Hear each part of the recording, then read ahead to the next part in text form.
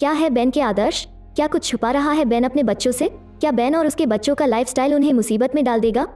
Welcome to our channel आज मैं आपको 2016 की एक कॉमेडी ड्रामा फ़िल्म का रिकैप दूँगी जिसका शीर्षक कैप्टन फैंटास्टिक है। वाशिंगटन के पहाड़ी जंगल में बेन कैश अपने छह बच्चों के साथ रहता है। बोडेवन रेलियन कील वेस्पायर जाया और नाई बच्चों के नाम उनके माता पिता द्वारा बनाए गए थे ताकि वे यूनिक हो सके और किसी और के ये नाम न हो।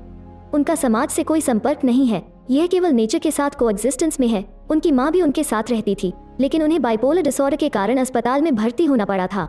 बेन अपने बच्चों को टेक्नोलॉजी या अमेरिकी सिस्टम जिससे वो घृणा करता है, पर निर्भर नहीं होने के लिए आत्मनिर्भर बनाता है। वो उन्हें शिकार करना, पौधों की पहचान करना, अपने पानी को शुद्ध करना और जो कुछ वे पकड़ते हैं और जो बोते हैं उसे पकाना सिखाता है। वे शारीरिक रूप से फिट और एथलेटिक रहने के लिए एक कठोर ट्रेनिंग सिस्टम रखते हैं और इसमें हथियारों का उपयोग करना और अपना बचाव करना सीखना भी शामिल है। बेन उन्हें गंभीर रूप से सोचने का तरीका भी सिखाता है। उन्हें हर दिन पढ़ने और उन पर परीक्षण करने के लिए एडवांस टेक्स्ट बुक्स देता है। उनको अपने और अपनी बीवी के लेफ़्ट विंग एनिकिस्ट आइडियल्स को पास करता है, जिसकी वजह से वो पहले ही सोसाइटी को छोड़ आए थे। उनके प्रश्न कितने भी भयानक या जटिल क्यों न हो बेन अपने बच्चों से यहाँ तक सबसे छोटे बच्चे से भी कुछ नहीं छिपाता है और बिना किसी डिटेल को छोड़े उन्हें मृत्यु और दुर्व्यवहार जैसी कॉन्सेप्ट के बारे में बताता है। जब बोदेवन अपने पहले हिरन को अपने दम पर पकड़ता है तो बेन उसके माथे पर कुछ जानवरों का खून डालता है और उसे जानवर के अंगों में से एक खाने के लिए मजबूर करता है क्योंकि वो घोषणा करता है कि वो आखिरकार वो एक मर्द बन गया है। बाद में शाम को आग के चारों ओर पड़ने के बाद, परिवार अपने इंस्ट्रूमेंट्स को बाहर निकालते हैं और नृत्य करते समय कुछ सुखद धुने बजाते हैं। अगले दिन, बेन और बोदेवन शहर की ओर अपनी बस चलाते हैं, जहाँ बोदेवन को अपनी उम्र की लड़कियों के साथ बातचीत करने में परेशानी होती है। जबकि बेन अपने शिल्प का कुछ सामान बेचता है। बोदेवन जबकि पीओ बॉक्स की जाँच करता है। वहाँ उसे उन यूनिवर्सिटी से पत्रों का एक ढेर मिलता है, जिसमें उसने गुप्त रूप से अप्लाई किया होता है, और उसे यह जानकर आश्चर्य होता है कि उसे उन सभी में एक्सेप्ट कर लिया गया है। बेन अपनी बहन हापर को फ़ोन करता है, अपनी पत्नी के बारे में समाचार माँगता है, और हापर रो रो के उसे बताती है कि उसकी बीवी ने खुद का गला दबा के अपनी जान ले ली है।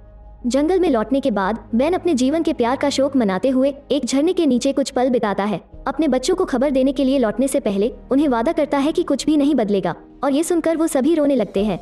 दुख से क्रोधित, रेलियन एक चाकू लेता है, अपने पिता को कोसता हुआ लगभग उसको चाकू घोंप देता है। लेकिन वो कुछ भी कठोर करने से पहले खुद को रोकता है और दीवार को छुरा घोपना शुरू कर देता है, और बेन को बताता है कि वो उससे नफरत करता है। उस रात बेन लेस्ली की वसीयत को खोजने के लिए अपनी पुरानी कागज़ी कार्रवाई को देखता है। अगली सुबह, बच्चों को अभी भी नॉर्मल ट्रेनिंग रूटीन के माध्यम से इसे गुजारना पड़ता है, लेकिन वे अपनी माँ के अंतिम संस्कार के बारे में जानना चाहते हैं। बेन अपने ससुर जैक को बुलाने के लिए शहर वापस जाता है, जिसने कभी भी उनकी जीवन शैली को मंजूरी नहीं दी थी, और अब वो बेन को धमकी देता है कि अगर वो लेस्ली के अंतिम संस्कार में दिखाई देता है तो उसे गिरफ़्तार करवा देगा। वो अपनी बेटी की अंतिम इच्छा की भी परवाह नहीं करता कि उसका अंतिम संस्कार किया जाए और न कि दफनाया जाए। लेस्ली की माँ एबेगेल फिर फ़ोन उठाती है। बेन को बताती है कि न्यू मैक्सिको में उनके चर्च में पाँच दिनों में लेस्ली का अंतिम संस्कार होगा लेकिन उसे नहीं लगता कि उसका वो आना एक अच्छा विचार होगा। बच्चे यह सुनकर खुश नहीं हैं, लेकिन बेन उन्हें याद दिलाता है कि उनके गिरफ़्तार होने का मतलब उनकी कस्टडी खोना हो सकता है। पूरी रात लेस्ली का सपना देखने के बाद बेन अपने बच्चों को कपड़े पहने और अपनी माँ को बचाने जाने के लिए तैयार देखता है। वो उन्हें फिर से याद दिलाता है कि यह असंभव है और उन्हें ट्रेन करने के लिए भेजता है। आज वे रॉक क्लाइंबिंग कर रहे हैं, जिसके दौरान रेलियन फिसल जाता है और उसके हाथ में चोट लग जाती है। हालाँकि उसकी मदद करने या उसे आराम देने के बजाय बेन उसे दर्द का सामना करने और चलते रहने के लिए मार्गदर्शन करता है। उसे याद दिलाता है कि कई बार उसके पास मदद करने के लिए कोई नहीं होगा और उसे यह जानने की ज़रूरत है कि उन अवसरों पर कैसे जीवित रहना है। एक बार ट्रेनिंग समाप्त हो जाने के बाद बेन ने नोटिस किया कि बच्चों का मूड वास्तव में खराब है, इसलिए वो फैसला करता है कि वे अंतिम संस्कार में जाएँगे। वे सड़क पर लंबा समय बिताते हैं, केवल सोने के लिए पार्किंग करते हैं, या कुछ पैसे निकालने के लिए बैंक के पास रुकते हैं। यात्रा के दूसरे दिन उन्हें एक पुलिस वाला रोकता है, जो बेन के लाइसेंस और रजिस्ट्रेशन की जाँच करता है। फिर बस में प्रवेश करती है जब वो नोटिस करता है कि बच्चे स्कूल में नहीं है और चारों ओर किताबों का एक ढेर है। उसे डराने के लिए बोदेवन बताता है कि वे भगवान की छत्रछाया में एक साथ होम स्कूलिंग कर रहे हैं। अपने भाई बहनों के साथ वे एक क्रिश्चियन गीत गाना शुरू करते हैं। यह पुलिस वाले के लिए उन्हें अकेला छोड़ने के लिए काफ़ी होता है। कई घंटों की यात्रा के बाद वे भेड़ों के झुंड के पास रुक जाते हैं, लेकिन बच्चों की हिम्मत नहीं होती उन्हें गोली मार दे, क्योंकि वो भेड़े वहाँ सिर्फ़ पड़ी हुई थी। चूँकि उन्हें भूख लगी होती है, वे एक डाइना में जाते हैं और भाई बहन पॉसिबली कुछ ऐसे फ़ूड आइटम्स को आजमाने के लिए उत्साहित हो जाते हैं जो उन्होंने पहले नहीं खाए थे, जैसे हॉट डॉग पैनकेक्स और कोला जिसे बेन जहरीला पानी कहता है। यह देखते हुए कि मेन्यू में कोई वास्तविक भोजन नहीं है बेन बच्चों को बिना ऑर्डर किए ले जाता है और वे इसके बजाय एक सुपरमार्केट में जाते हैं। वहाँ बेन दिल का दौरा पड़ने का नाटक करता है और जब बाज़ार में हर कोई उस पर जाँच करने में व्यस्त होता है तो उसके बच्चे कुछ खाना चुरा लेते हैं और बिना देखे ही भाग जाते हैं। उनमें से केवल एक ही बेन को एक नकली गोली देने के लिए पीछे रहता है, जिसे वो बेहतर महसूस करने का नाटक करने के लिए लेता है ताकि वह भी वहाँ से निकल सके। बाद में, वे पास के एक पार्क में जाते हैं, जो उन्होंने चुराया है उसे लेकर, और बेन एक केक लाता है क्योंकि वे एडवांस में नोआम चॉम्स की दिवस मना रहे हैं, एक छुट्टी जो उन्होंने एक फ़ेमस फिलोसफर पर बनाई थी। बेन उपहार के रूप में सभी के लिए हथियार लाया है। लेकिन रेलियन खुश नहीं है। वो चाहता है कि वे सामान्य लोगों की तरह क्रिसमस मना सके। उसके पिता उसे एक मामला पेश करने और एक अच्छा तर्क देने के लिए कहते हैं, लेकिन रेलियन इसके मूड में नहीं है और बस में लौट आता है। उनकी यात्रा इवेंचुअली उन्हें बेन की बहन के घर ले जाती है। हापर अपने पति डेव और उनके बेटों जस्टिन और जैक्सन के साथ रहती है, जो प्रसिद्ध ब्रांडों को नहीं जानने के लिए भाई बहनों का मज़ाक उड़ाते हैं। रात के खाने पर चीज़ें अजीब हो जाती हैं क्योंकि सेंसिटिव विषयों की बात आने पर बेन पीछे नहीं हटता और सब कुछ विस्तार से बताता है, जो हापर और डेव नहीं चाहते कि उनके बच्चे सुने।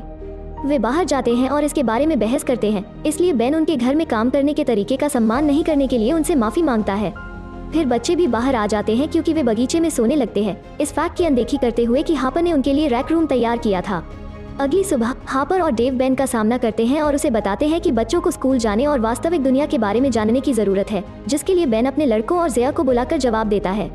हापर के बेटे बिल ऑफ़ राइट्स का जवाब नहीं दे सकते, लेकिन जया यह साबित कर देती है कि वे उनसे जो शिक्षा प्राप्त कर रहे हैं, वो ठीक है।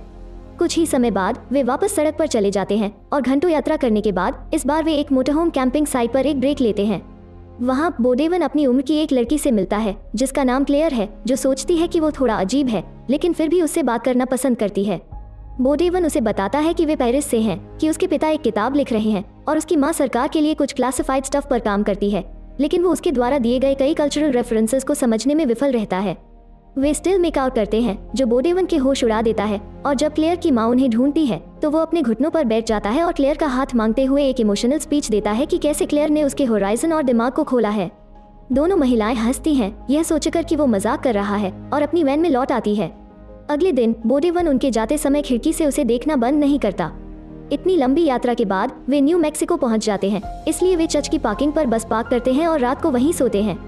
जहाँ बेन फिर से लेस्ली के सपने देखता है अगली सुबह परिवार अपने सबसे अच्छे कपड़े पहनता है और अंतिम संस्कार के बीच में चर्च में प्रवेश करता है। लेस्ली के माता पिता जैक और आबगेल उन्हें खराब नज़रों से देखते हैं। जब प्रीस्ट अपने भाषण के उस हिस्से में पहुँचता है, जहाँ वो लेस्ली के पति और बच्चों का नाम लेता है, बेन उसे बाधित करने और खुद का भाषण देने का मौका लेता है।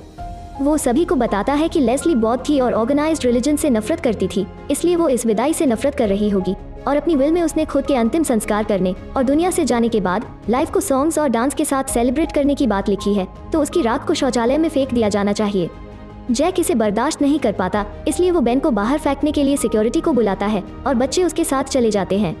एक बार मास्क खत्म हो जाने के बाद, जैक और आबगेल बच्चों को हाई कहने के लिए आते हैं, लेकिन जैक बेन को बताता है कि बेन उसके परिवार के लिए एक सबसे बड़ा अभिशाप है, इसलिए वो तो फ्यूनरल में नहीं आ सकता, लेकिन उसके बच्चे आ सकते हैं। बेन मना कर देता है, नहीं चाहता कि कोई उससे बच्चों को ले जाए, लेकिन वो अपनी पत्नी को दफनाने से रोकने के लिए कारों को फॉलो करने के लिए उनके साथ बस में चढ़ जाता है। बच्चे उससे ऐसा न करने की भीख मांगते हैं क्योंकि ऐसा करने से वो गिरफ़्तार भी हो सकता है, और वे उसे खोना नहीं चाहते जैसे उन्होंने अपनी माँ को खो दिया। इसलिए बेन मान जाता है और दूसरी ओर गाड़ी घुमा लेता है, ताकि वे एक पार्क में डेरा डाल सकें।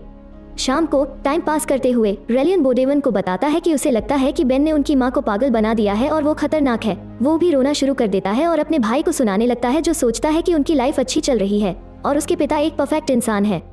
यह बोडेवन को सोचने के लिए बहुत कुछ देता है, इसलिए वो एंड में अपना मन बना लेता है और बेन को सभी यूनिवर्सिटी एक्सेप्टेंस लेटर्स दिखाता है। वे सिर्फ़ कोई यूनिवर्सिटीज नहीं है, ये स्टैनफोर्ड प्रिंसटन हार्वर्ड डार्टमाउथ एम ब्राउन ये सभी प्रतिष्ठित नाम हैं। बेन सोचता है कि यह इम्प्रेसिव है, लेकिन वो भी हर्ट है, क्योंकि उसके बेटे ने उसे इतना सब कुछ छिपाया। तब बोडेवन कहता है कि ये उसकी माँ ही थी जिसने उसे इन यूनिवर्सिटीज में अप्लाई करने की सलाह दी। रोते हुए बोडेवन उसे बताता है कि वो वास्तव में किसी भी चीज़ के बारे में कुछ भी नहीं जानता है, जब तक कि यह एक किताब से नहीं जुड़ा हुआ हो, कि बेन ने उन सभी को फ्रीक्स बना दिया, और लेस्ली ने उसे समझा, फिर बेन के जवाब देने से पहले निकल जाता है। नाय आगे आता है और बेन को रेलियन से एक नोट देता है, जिसमें कहा गया है कि वो अपने दादा दादी के साथ रह रहा है। बेन बच्चों के साथ बस लेता है और रेलियन को वापस लेने के लिए जैक के घर जाता है। लेकिन रेलियन गुस्से में है और उस पर चिल्लाता है कि उसने उसकी माँ को मार डाला। उसने उन्हें बहस करते हुए सुना क्योंकि उसकी माँ कहीं और रहना चाहती थी और उसने ऐसा नहीं किया और वो उससे नफरत करता था। कमरे से बाहर निकलने के बाद बेन उसके पीछे जाने की कोशिश करता है, लेकिन जैक उसके सिर के पास एक तीर मारकर उसे रोक देता है। वो उन सभी चीज़ों की ओर इशारा करना शुरू कर देता है। जो वो रेलियन की स्थिति के बारे में अजीब या खतरनाक मानता है। वो स्कूल नहीं जाता है। उसे एक मेड अप हॉलिडे पर एक हथियार उपहार में दिया गया। उसने बाज़ार से भोजन चुराया और उसने अपने हाथ को बुरी तरह से चोट पहुंचाई थी और उसकी बॉडी पर जो निशान थे, वो भी बहुत कुछ कह रहे थे। जैक इस चाइल्ड अब्यूज पर विचार करता है और बेन को बताता है कि वे जल्द ही बच्चों की कस्टडी को लेकर अदालत में उससे लड़ेगा, लेकिन अभी के लिए रेलियन वहीं रहेगा। चूँकि बेन अपने बेटे के बिना नहीं जाना चाहता, जैक पुलिस को फ़ोन करता है, इसलिए बेन पकड़े जाने से पहले घर से बाहर निकल जाता है। फिर भी वो हार नहीं मानते। झाड़ियों में छिपे बेन और बच्चे पुलिस के जाने का इंतज़ार करते हैं। फिर वो वेस्पायर को छत पर चढ़ने के लिए भेजता है ताकि उसके भाई को खिड़की से बचाया जा सके। इससे पहले कि वो वहाँ पहुँचती, छत की एक टाइल टूट जाती है और वो नीचे गिर जाती है, पहले एक कार पर और फिर ज़मीन पर। वेस्पायर को अस्पताल ले जाया जाता है और कुछ टेस्ट चलाने के बाद डॉक्टर बेन को बताता है कि उसे चोट लगी है, लेकिन शुक्र है कि कोई ब्रेन डैमेज नहीं हुआ, बस एक हुआ टूटा है।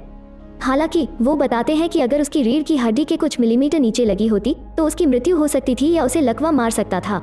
जबकि वेस्पायर ठीक हो जाती है, परिवार जैक के घर पर रहता है, और बेन देखता है कि उसके बच्चे वास्तव में अपने दादा के साथ कैसे अच्छा समय बिताते हैं। एबगेल ने बेन को कुछ लेटर्स दिए, जो लेस्ली ने लिखे थे, जब बेन ने उनसे लेस्ली का ट्रीटमेंट कराने के लिए कहा था, जिसमें लिखा था कि उसे अब लेने आने की ज़रूरत नहीं है, क्योंकि उसने और बेन ने रहने के लिए सही जगह बनाई है। कि उसके बच्चे फिलोसोफर किंग्स होंगे, और यह सब उसे बहुत खुश करता है, इसलिए वो उनके साथ वहाँ बेहतर होना चाहती है। यह महसूस करते हुए कि उसने गलती की है, बेन बच्चों से कहता है कि अब से वे उनके दादा दादी के साथ रहेंगे। बच्चे विरोध करते हैं, लेकिन बेन अपने फैसले पर कायम रहता है, यह समझाते हुए कि वो केवल उनके जीवन को बर्बाद कर देगा। जैक से उनकी अच्छी देखभाल करने के लिए कहने और हाथ मिलाने के बाद, बेन रोते हुए बस में चला जाता है। जब वो कुछ खाने के लिए एक बाज़ार में रुकता है तो वो अपने जीवन में इस नए चरण को शुरू करने के लिए एक इलेक्ट्रिक रेजर खरीदने और अपनी दाढ़ी को शेव करने का फैसला करता है।